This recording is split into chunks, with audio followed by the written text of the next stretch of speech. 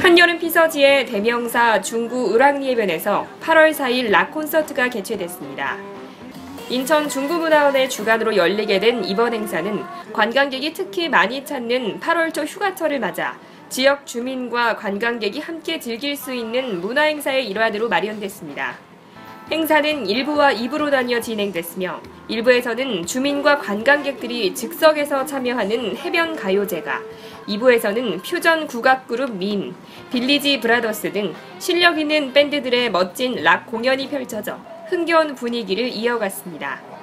또 화려한 불꽃놀이 쇼로 행사의 피날레를 장식하며 피서지의 밤을 더욱 아름답게 수놓았습니다. 정말 신났고요. 춤도 추고 너무 신났습니다. 인천 중구는 을왕리 락 콘서트의 인지도가 해마다 상승하고 있고 콘서트를 보기 위해 을왕리를 찾는 관광객들도 있는 만큼 앞으로도 내실 있는 공연 프로그램들을 선보일 계획이라고 밝혔습니다. 시원한 바다와 흥겨운 락 페스티벌의 만남으로 을왕리의 여름은 더욱 무르익어 가고 있습니다.